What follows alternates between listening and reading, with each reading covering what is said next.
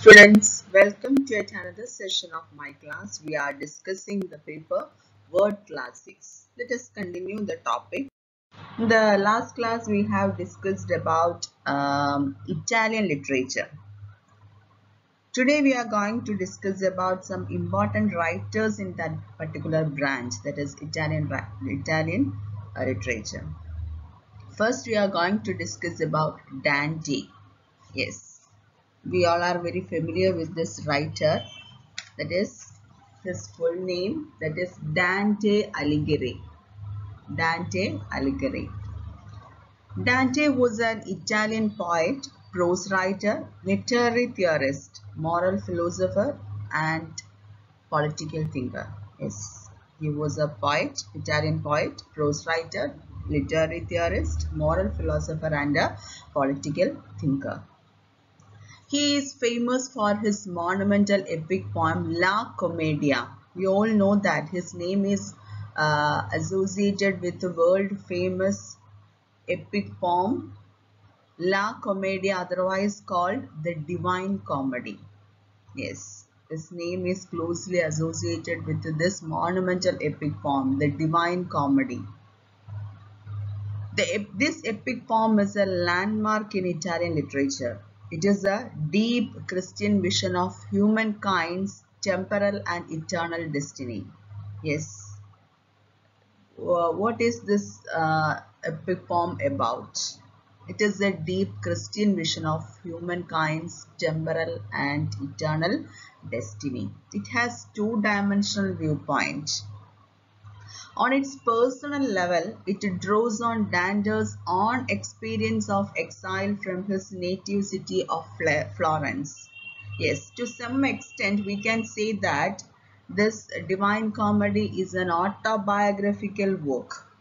It's a somewhat autobiographical work because it draws on Dante's own experience of exile from his native city of Florence and on its comprehensive level it may be read as an allegory. Yes. To some extent we can say that it is an autobiographical work and on its comprehensive level it may be read as an allegory taking from the form of a journey. Yes. This poem is set in the form of a journey through hell purgatory and paradise so it follows Dante's own allegorical journey through these three worlds that is through hell, that is inferno, purgatory, that is purgatorio and paradise, that is paradiso. That is, that's why, yes, it is called an autobiographical work because it draws on Dante's own experience of exile from his native city of Florence and also it is his own, uh, it follows Dante's own allegorical journey through hell, purgatory and paradiso. And he was guided at first by the character of Virgil and later by his beloved Beatrice. And uh, Dante wrote of his own path to salvation. Why he wrote such a monumental epic? He wrote of his on path to salvation, offering philosophical and moral judgments along the way. That is the uh, importance behind this particular uh, monumental epic poem. And this Dante's Divine Comedy, it presents an encyclopedic overview of the attitudes, beliefs, philosophies, aspirations, and material aspects of the medieval world and he is seen as the father of modern Italian. Dante is seen as the father of modern Italian and his works have flourished before his death. And regarding this Divine Comedy, Dante's Divine Comedy, a great work of medieval literature. And it is, a, I already told it is a deep Christian vision of man's temporal and eternal destiny and this particular poem analyzes or amazes by its array of learning, its penetrating and comprehensive analysis of contemporary problems and its inventiveness of language and imagery. By choosing to write his poem in the Italian vernacular rather than in Latin, Dante decisively influenced the course of literary development. Yes, he uh, chose uh, uh, by choosing to write his poem in the Italian vernacular rather than in Latin. That is, he opted Italian vernacular for writing this particular epic poem and he primarily used the Tuscan dialect which would become standard literary Italian but his vivid vocabulary ranged widely over many dialects and languages. And this is about our uh, Italian poet Dante Alighieri and his very famous monumental epic poem La Commedia or otherwise called the Divine Comedy. I think all of you understand about Dante. Next we are going to discuss about Alberto Moravia, another Italian writer. Alberto Moravia, an Italian novelist and journalist, was one of the leading figures of the 20th century whose novels explore matters of modern sexuality, social alienation and existentialism. So Alberto Moravia, he was an Italian novelist and journalist. Then he was one of the leading figures of the 20th century and his novels explore matters of modern sex sexuality. That is, most of his works deal with the modern sexuality, themes of modern sexuality, social alienation and existentialism. Existentialism is a uh, theoretical framework which deals with the meaninglessness of life or questioning the existence of God.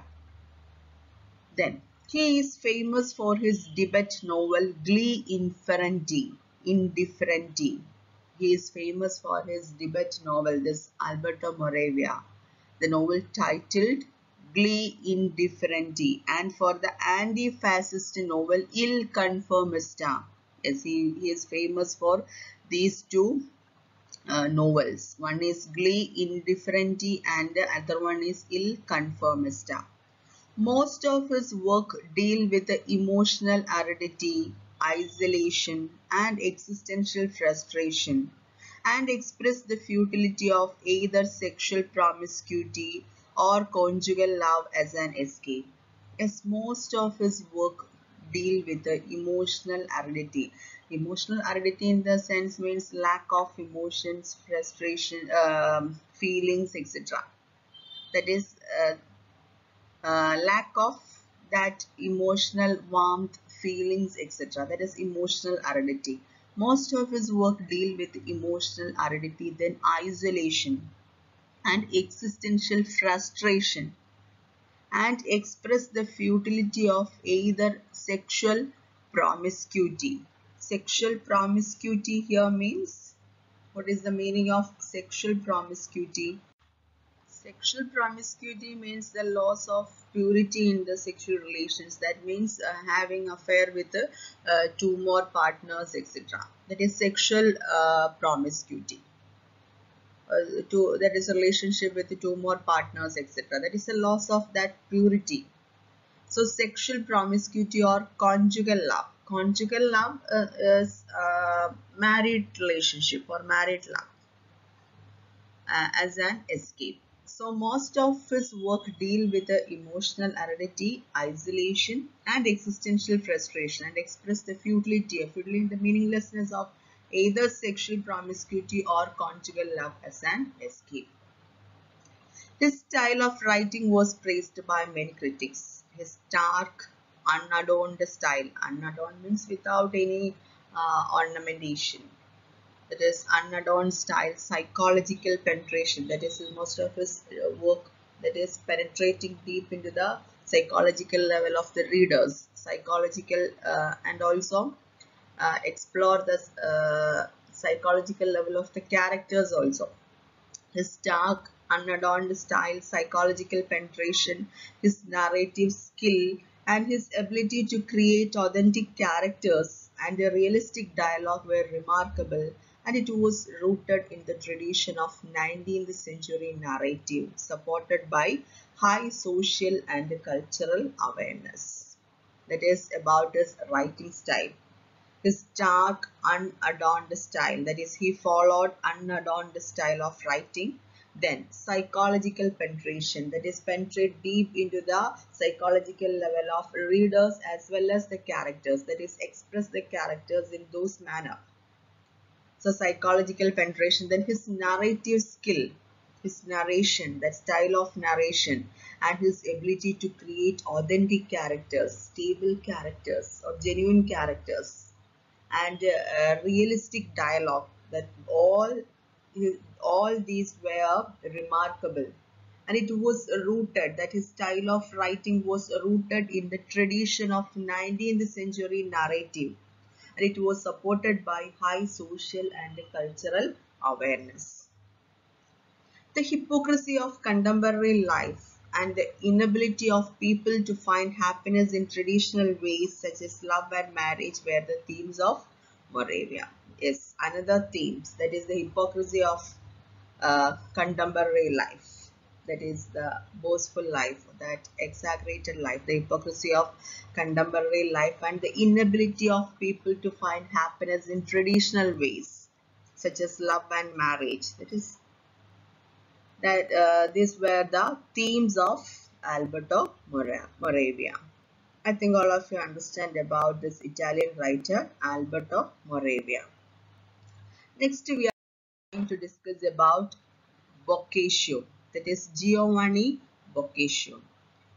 Boccaccio was an Italian writer, poet and a Renaissance humanist and he is best remembered as the author of Decameron that is his very famous work. He is best remembered as the author of Decameron. What is the significance of this particular work that is Decameron? That is later uh, we know that this is uh, Chaucer's, Geoffrey Chaucer's Canterbury Tales is based on this particular work Decameron. This Chaucer was highly influenced by the writings of Boccaccio, especially this Decameron. And the source of this uh, Canterbury Tales is Decameron. That is the significance of this particular work. So Boccaccio was an Italian writer, poet and a Renaissance humanist and he is best remembered as the author of Decameron and he was the one who laid the foundations for the humanism of the Renaissance along with the Petrarch. Along with the Petrarch that is uh, combined with the Petrarch he was the one who laid the foundations for humanism humanistic concept, that movement, humanism of the, uh, yes, humanism in Renaissance, the foundations for the humanism of the Renaissance along with the Petrarch. He raised the vernacular literature to the level and status of the classics of antiquity. He raised that particular dialect, that is vernacular literature, to the uh, level and status of the classics of antiquity. His work was a shift away from medieval romances to literary realism. Yes, most of his work was a shift away from yes, a shift from medieval romances to literary realism. The Decameron was not just a collection of love stories. They provided an overview of the human condition. That is the significance of that particular work. It was not just a collection of love stories they provided an overview of the human condition. And later it became the inspiration for Chaucer's Canterbury Tales I already told you. And he demonstrated that prose could capture the complexity of humans and their situations. He demonstrated that prose could capture the complexity of humans and their situations. And he was very much interested in the classical past and can be considered to be one of the great mediators between the classical world and Renaissance Italy. Yes, he was very much interested in the classical past and can be considered to be one of the great mediators between classical world and Renaissance Italy. Renaissance Italy. Uh, we all know that uh, that particular movement that is Renaissance. That is a rebirth, a revival of classical learning. That is Renaissance. And it is started, that is, it is believed that, it is generally believed to have begun in Italy during the 14th century. That is just after the end of the Middle Ages and reached its height that is this renaissance movement it reached its height in the 15th century and after that the renaissance spread to the rest of europe in the 16th and 17th century. That is about that particular moment. that is actually it is believed that is generally believed to have begun in italy. That revival of classical learning. And what is the uh, peculiarity of this particular country? This italy is a place with a rich cultural history. So our writer Boccaccio, yes, I already told you he was a Renaissance humanist. So he was very much interested in the classical past and can be considered to be one of the great mediators between the classical world and Renaissance Italy. And he was a deeply religious man and believed in earthly pleasures.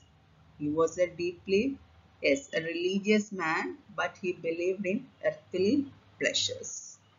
He was determined to make Italian a respected literary language through his writings. And his other famous works are Il Filo, Il Filocolo, that is uh, the love afflicted, that is the meaning of Il Filocolo, that is his famous works. Other famous works, then Il Filostrato, Il Filostrato, that is the love struck, that is the meaning of Il Filostrato. All these are his famous works. That is Il Filoclo, Filocolo that is the love afflicted. Then Il, Il Filostrato that is the love struck. That is a um, uh, so that is uh, Il Filostrato that is love struck. Is a short poem in ottava rima telling the story of Troilus and the faithless Cresseide this Il Filostrato it, uh, it is uh, a story about Troilus and the faithless Cresseide. That is about Boccaccio, Giovanni Boccaccio. I think all of you understand about Boccaccio and his very famous work. He is best remembered for uh, Decameron and we all know that later it became this Decameron became the inspiration for Chaucer's Canterbury Tales and his another famous work that is Il Filostrato for Tom uh, Chaucer's Troilus and Cresseide is source for Troilus and Chaucer's Troilus and Cresseide. These are uh, the important points regarding Boccaccio that is Giovanni Boccaccio Italian very famous Italian writer poet and a Renaissance humanist. Yes, students, there is a homework for you and the homework is write a note on uh, Dante, Alberto Moravia and uh, Giovanni Boccaccio. Write your homework and uh, send back to me. Thank you. Have a nice day. See you again.